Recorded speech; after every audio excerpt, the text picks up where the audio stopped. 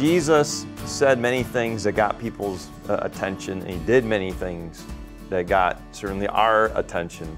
But one of the greatest things he said that has gotten everybody's attention is this love your enemies, bless those who persecute you, pray for them, love your enemies.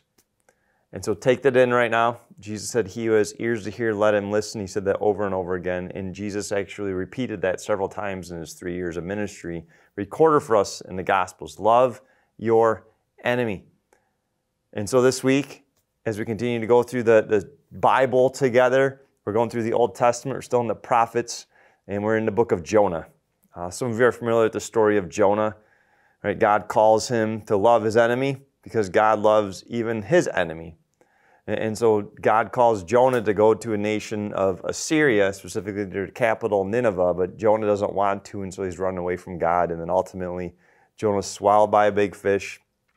Jonah repents and says finally he'll do it, but he's not happy about doing it still, preaching the gospel to God's enemies and to Jonah's enemies, the people of Assyria, the people in Nineveh. And the people of Nineveh, the enemies of God, the enemies of Jonah, uh, they do repent. Uh, they relent, they, they change their ways, they stay humble underneath God, and they're no longer enemies uh, of God. And, and Jonah's not happy about it still. And so, the thought today for you and I, as we live in the truth that we are called to love our enemies, is what is God calling us to do with this?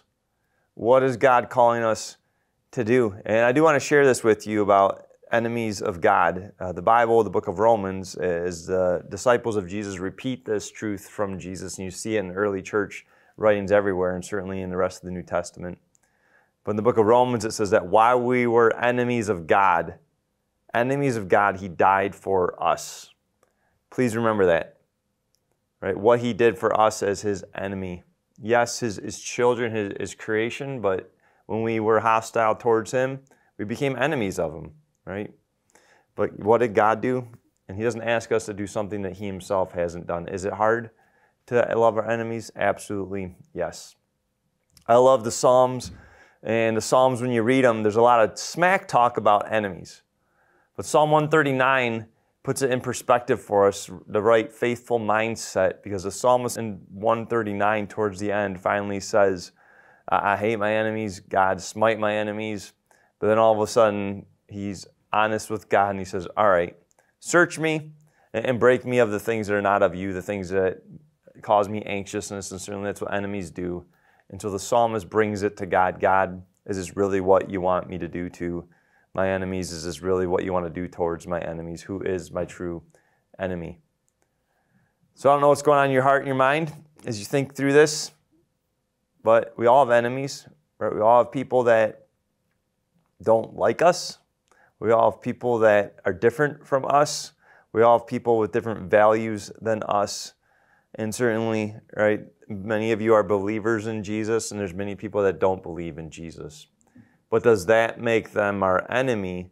And if in fact they are our enemy, what are we supposed to do?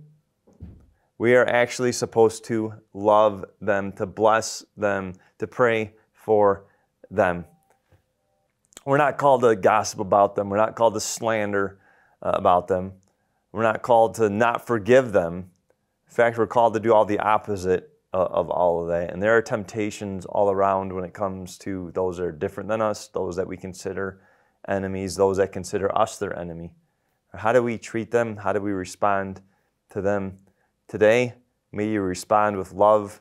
May you respond with faithfulness that God first gave to us. may you pray for them that they would be blessed and that they would know the truth that you know as well. That while we're enemies of God, He died for us. Be blessed. It's time to love our enemies.